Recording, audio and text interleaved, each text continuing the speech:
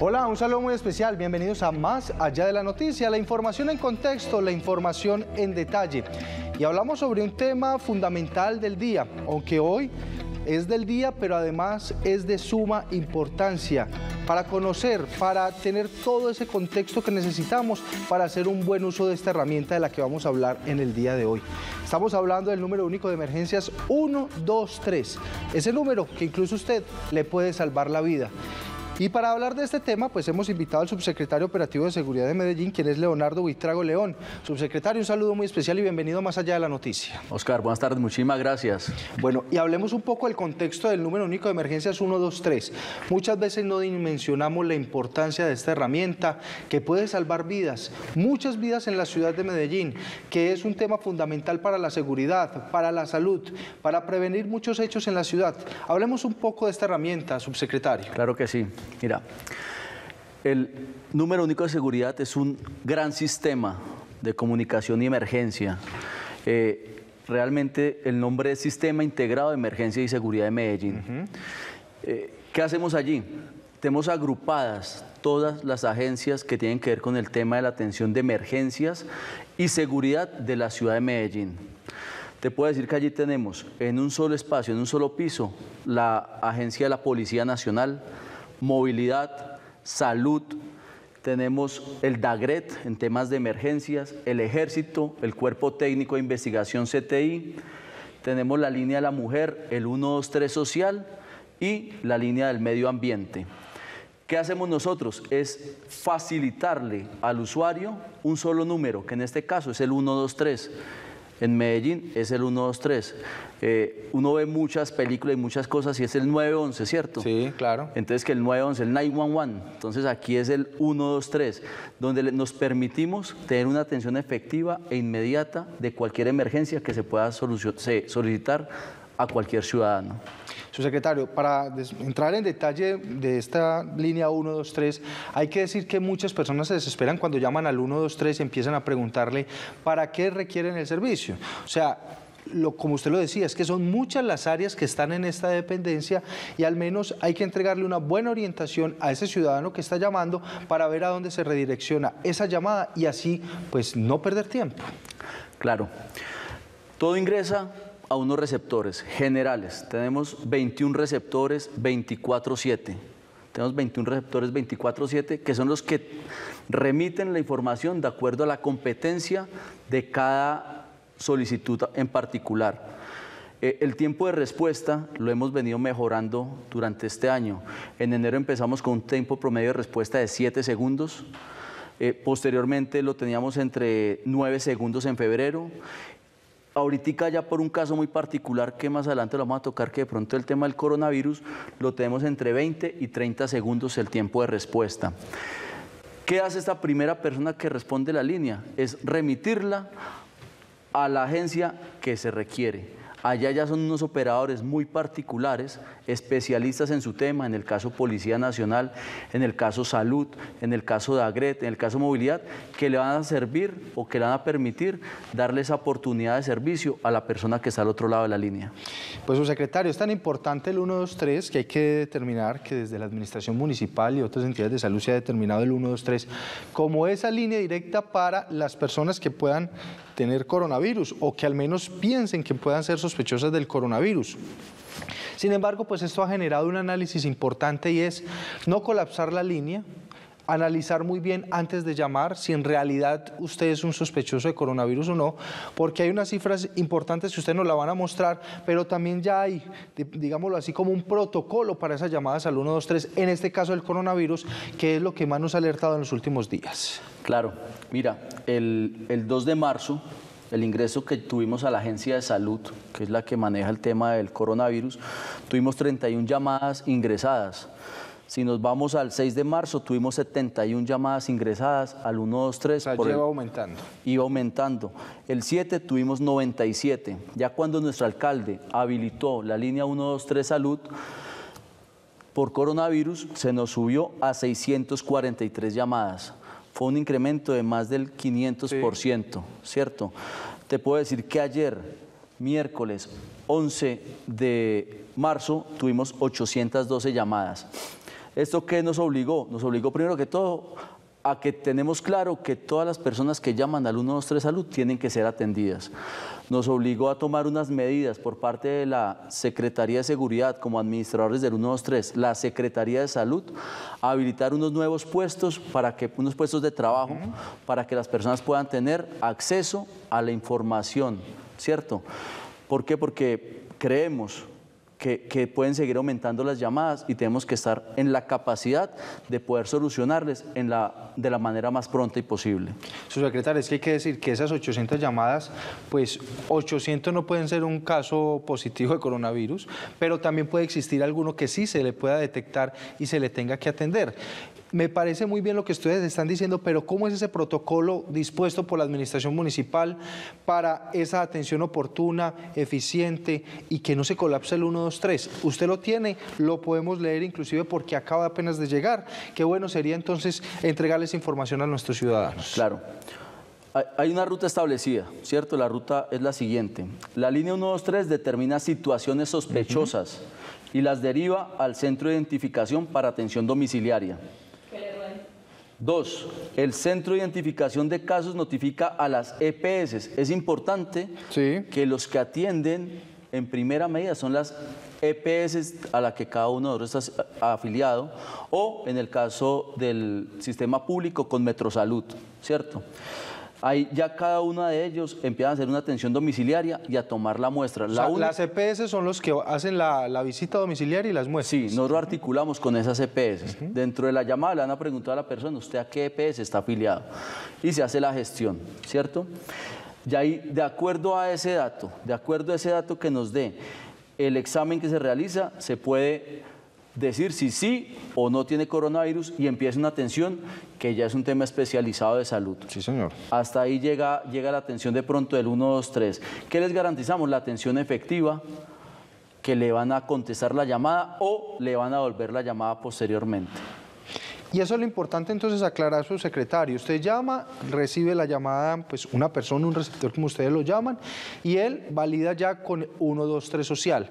¿Qué personal? Salud. Eh, perdón, 123 salud. Al 123 salud es donde pasa la llamada. ¿Qué personal tenemos ahí? En el 123 salud tenemos personas especialistas, profesionales de la salud, que van a dar, poder dar una teleasistencia, podemos decir, de manera inicial y van a orientar a la persona que cree tener unos síntomas en la realidad o no de su situación. Eh, son síntomas, no soy médico, pero es lo que estamos manejando. Son síntomas muy puntuales. Fiebre, dolor muscular general, eh, mucosidad de unos colores específicos, tengo entendido que es amarillo y verde, y tos. ¿Cierto? Uno lo confunde con un resfriado cualquiera, de pronto por eso es el pánico que se ha generado. Pero la idea es que estos especialistas de la salud que están en el 123 nos orienten y nos den por lo menos un parte inicial de tranquilidad frente a la situación que estamos viviendo. Mira, si es tan importante la línea, yo sí quiero resaltar mucho este tema y ahorita hablaba del 123 social cuando me quería referir al 123 salud, porque es que hasta evitar un suicidio, por ejemplo, sirve el 123. Es una línea tan importante que muchas personas pueden conocer un caso de una depresión de una persona que quiera quitarse la vida. Puede llamar al 123 para atender una acción como estas, para prevenirla, inclusive para atenderla en el momento que pueda estar eh, esta persona en esa depresión o en esa crisis. ¿Cómo funciona también este tema, subsecretario? Tenemos el 123 social, que es eh, sin discriminar otras agencias, pero es una atención muy fuerte porque es lo que, lo que la gente que más necesita en atención de pronto como persona se le puede brindar. Eh, este 123 social nos tiene atención a habitantes en condición de calle, nos tiene atención a las personas que, como lo dices, de pronto están eh, con una condición de posible alteración de su juicio y un posible suicidio. Ellos envían los especialistas, los atienden por vía telefónica y les dan una teleasesoría, una teleasistencia y si es necesario, se mandan a ubicar a esas personas. Lo importante de esta línea, y usted lo decía al inicio, es salvar vidas. Salvar vidas desde la salud, salvar vidas desde la seguridad, desde la prevención de un riesgo, de un desastre que es otro tema que tenemos ahí con el DAGRET. Entonces, este 123 social presta una función supremamente importante. Hay otro tema. Desde el 123 social manejamos el programa Nada justifica el homicidio. En Medellín, y lo ha dicho nuestro alcalde, toda vida vale. Sí, señor. Toda vida vale. Entonces, nada justifica el homicidio, es ese programa para la vida, para proteger la vida, para proteger la vida de nuestros jóvenes. Cuando un joven se sienta que está vulnerándose, que tiene algún tipo de peligro en la sociedad, en la calle, en su barrio, en su comuna, él puede llamar a la línea 123, pedir que lo comuniquen con el 123, de nada justifica el homicidio y se le empieza una ruta de atención. Importantísimo saberlo y que lo apliquen. Hay, muchachos que requieren 50 mil pesos para irse para, para Peque, así sea para Sonsón, a donde su familia. ¿Por qué? Porque se siente amenazado. Se le puede prestar ese servicio desde el 123 social de nada justifica el homicidio y estamos salvando una vida. Es tan importante que hoy con el tema de los venezolanos que pues, han dejado su país y llegan a la ciudad de Medellín, inclusive con una llamada al 123, esas personas que quieran retornar a su país, pues es un número donde le pueden brindar toda esa orientación para poder entregarle ese servicio. Esas personas que ya no quieren estar más en la ciudad de Medellín, sino que quieren, por ejemplo, regresar a Venezuela, llaman al 123 y se les brinda inclusive esa atención. Es que es, una, es un número integral donde ustedes pueden encontrar mucha asesoría, mucha ayuda y mucha atención porque mire, en el tema de seguridad sí que es importante, subsecretario. Hablemos un poco del tema de seguridad, en el tema de evitar robos, en el tema de evitar esos homicidios, en el tema de eh, atender de forma oportuna todo lo que tiene que ver con el orden público en la ciudad. La, agencia más grande que tenemos en el piso, en el piso 16 de la Secretaría de Seguridad es la Policía Nacional. Ellos tienen la, la misión de proteger la vida, integridad, honra y bienes de todos los ciudadanos. Eh, es la que nos atiende casi el 90% de las llamadas o de los pedidos efectivos. Eh, ellos se articulan desde el 123 vía radio con las patrullas de los cuadrantes, los cuadrantes que están en toda la ciudad, con los comandantes de la vigilancia, con los comandantes de estación, los comandantes de distrito, los grupos especializados que tiene la Policía Nacional para esto. Todo en base a la información ciudadana que a bien nos tengan, nos quieran brindar. Esta información es supremamente importante, ¿por qué? Porque nos permite reaccionar antes de para prevenir o reaccionar después de para tratar de mitigar ya un hecho que se comete, un hecho delictivo. Subsecretario, mire, es que estoy viendo acá unas cifras que las entregó el alcalde de la ciudad de Medellín de 7 mil llamadas no efectivas. Y eso quiere decir que son personas que llaman para contar un chiste o personas que llaman simplemente a hacer una burla o personas que llaman a otro tema diferente a la función del 1, 2, 3. ¿Qué decir también frente a este tema? ¿Cómo evitar que los ciudadanos tomen conciencia que es que el 1, 2, 3 es fundamental para salvar esas vidas, para atender una emergencia, para atender un caso de orden público, para atender un caso en este momento de coronavirus? ¿Qué decirle también a toda esta gente? Aquí quiero hacer dos precisiones. La primera, efectivamente, de del gran grueso de llamadas que ingresan al 123, que le puedo decir que son 900 mil llamadas mensuales, mensuales en promedio, de esas más del 60% son llamadas que son llamadas que no conducen a nada, son llamadas que, que son llamadas cortadas, que la gente llama al 123 y cuelga, son niños molestando, son llamadas que la gente las abandona o deja descolgado el teléfono, llamadas no ocultas, no ocultas quiere decir que llaman a, tratar mal o a ofender a la persona que está al otro lado de la línea, como usted lo dice, a contar chistes. Y hay algo muy complejo que la gente y las personas en ciertas oportunidades no entienden. El 123 no es una línea de información. El 123 es una línea de emergencias. Al 123 nos llaman a preguntar por el pico y placa que en dónde queda la clínica tal, dónde queda el hospital tal, dónde queda la notaría, cuál es la droguería que está de turno, cuál es la notaría que atiende los sábados, mediodía.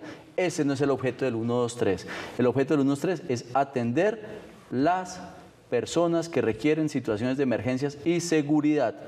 El segundo llamado es que, de acuerdo al Código Nacional de Policía y Convivencia, ¿cierto?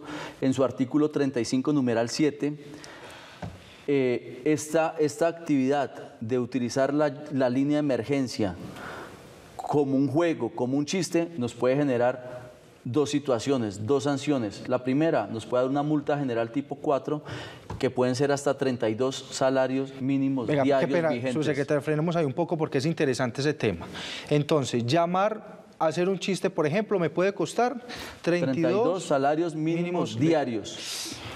O sea, vienen siendo pues más del salario mínimo mensual. El salario mínimo mensual está en 30, 30 días, ¿cierto? Ese nos va hasta 32, que son 900 y algo de mil de pesos.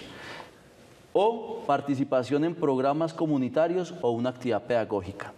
Entonces O tiene sea, sería sanción. o la sanción económica o la sanción O social, la sanción así. social, sí. La participación obligatoria en participación de programas comunitarios o la actividad pedagógica.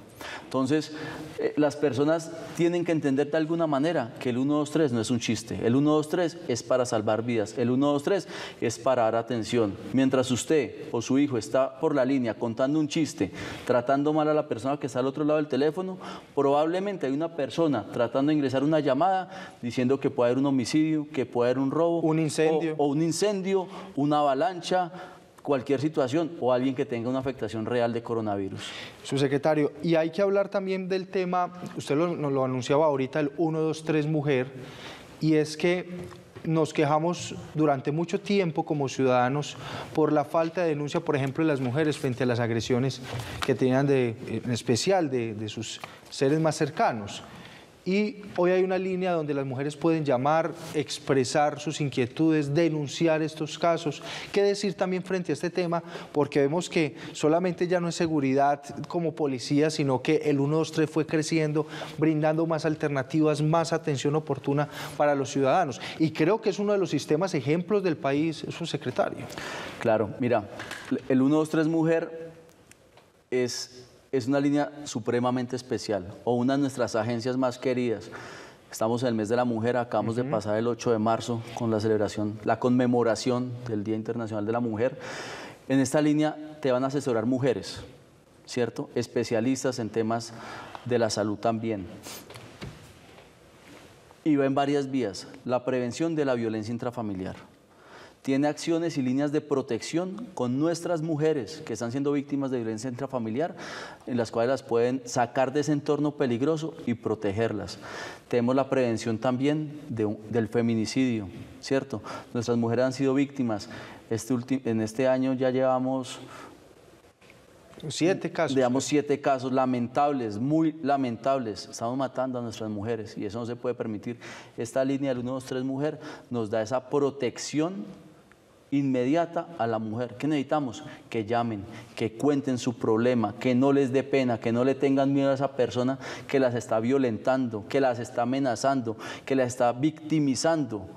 ¿Cierto? No solamente durante un día, puede ser que durante toda su vida. Mujeres que toda la vida han vivido bajo el yugo de una persona que según ellas o les da a entender que las quiere y no es así. Esta línea 123 Mujer, que la trabajamos en línea con la Secretaría de la Mujer. Es importante decirlo, la Secretaría de la Mujer es la que nos orienta. Sí. Esa agencia, esa agencia la orienta la Secretaría de la Mujer y tiene unas líneas de acción y unos programas supremamente amplios, supremamente bellos para proteger a nuestras mujeres.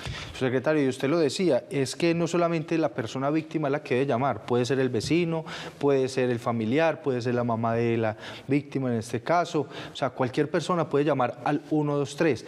Hay reserva, uno se tiene que identificar, el temor de muchas personas de llamar a denunciar puede ser inclusive eso. Hay total reserva de la información que se recibe allí. En todo momento hay reserva. Quiero que tengan claro una cosa. El 123, la única agencia que maneja la Policía Nacional es la, la agencia de ellos.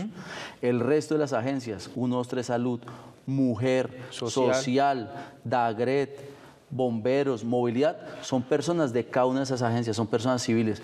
Eh, hay gente que, no da información pensando que de pronto es policía. No, son agencias muy diferentes a la Agencia de Policía Nacional. Y lo puede hacer cualquier persona, cualquier persona, el hijo. Si usted como hijo se da cuenta que su papá tiene una actitud violenta contra su mamá, infórmelo, salve a su mamá. Si usted se da cuenta como vecino, como madre, como familiar, que hay una acción violenta contra la mujer, informe al 123, al 123 Mujer, infórmenos para poder articular la oferta institucional desde la Secretaría de la Mujer, desde la Secretaría de la Seguridad, para sacarla a un entorno y un ambiente seguro. Aquí la idea de esta línea 123 es salvar vidas. Bueno, subsecretario, yo creo que, pues redondeando, yo creo que es decirle al televidente, decirle al ciudadano, decirle a esas personas que nos ven que hoy hay un número que está funcionando muy bien, que puede salvar vidas y que lo más importante es que usted como ciudadano, esa persona que está marcando, puede ser esa persona que ayude a salvar esa vida, que no solamente es una, un trabajo de las autoridades, no es solamente un trabajo de la policía, como usted lo dice, de la Secretaría de la Mujer, de la Alcaldía de Medellín, de los bomberos, sino que es un trabajo de todos. Tiene que ser un trabajo mancomunado, pero utilizando muy bien esta línea 1, 2, 3. Sí, señor. La línea 2, 3, la invitación es a que le demos un uso adecuado a la línea 1, 2, 3. Ya no es chiste, ya no es chiste que hace 30, 40 años llamábamos, era el 112, sí. y llamábamos al 112 a hacer la pega. Allá lavan ropa, tan cochinos. No, señor, esto hoy en día es para salvar vidas. Las dinámicas han cambiado, las dinámicas sociales han cambiado, las dinámicas delincuenciales han cambiado nosotros como Secretaría de Seguridad, como Administración Municipal, nos hemos adecuado a esos cambios. Necesitamos que también los ciudadanos aprendan y comprendan que ese número 1, 2, 3 les puede salvar la vida. Secretario, pero hay que hacer también una claridad y es que no es que los niños no puedan llamar al 1, 2, 3. Tiene que ser un trabajo de los padres de concientizar a esos niños cómo hacer una buena llamada, porque uno nunca sabe que el niño esté, por ejemplo, solo con su abuelito, con su abuelita, tenga de pronto un problema de salud su abuelito su abuelita, y ese niño es el que va a marcar al 1, 2, 3 para poder salvar esa vida. Es un tema de cultura. El 123 no tiene restricciones, puede llamar cualquier persona, puede llamar el niño, claro que sí, pero siempre a, informar una situación de emergencia, una situación de emergencia. Los padres son los responsables de lo que hacen sus hijos. En el tema de la sanción que habla el Código Nacional de Policía y Convivencia, los padres son los que llegarían como responsables de sus hijos a pagar esas, estas sanciones. Bueno, director, muchas gracias, secretario, por toda esta información. 123, que es una de las líneas eh, importantes de la ciudad. Mire todo lo que se puede eh, prevenir, lo que se puede salvar, lo que se puede atender con solo marcar estos tres numeritos. 1, 2, 3. Importante, pues, estos programas de sensibilización que le permitan a los ciudadanos y a los habitantes de Medellín conocer que tienen una línea amiga, una, amiga, una línea cercana, que como le decimos, y no me, lo no me voy a cansar de repetirlo, puede salvar muchas, pero muchas vidas, puede prevenir muchos, muchos casos en el tema de orden público. Y hoy, pues como tenemos una alerta en el tema de coronavirus, pues al menos se puede detectar a tiempo una persona que pueda estar enferma y brindarle toda esa atención en salud de una forma oportuna. Su secretario, muchas gracias por venir a Más Allá de la Noticia. Hombre, con mucho gusto y la Secretaría de Seguridad es la casa de todos los medellinenses. Yo sé que sí. Y a ustedes, muchas gracias por estar atentos de más allá de la noticia. Recuerden, 1, 2, 3 para salvar vidas, solamente con respeto y utilizando muy bien este sistema. Hasta pronto, muchas gracias.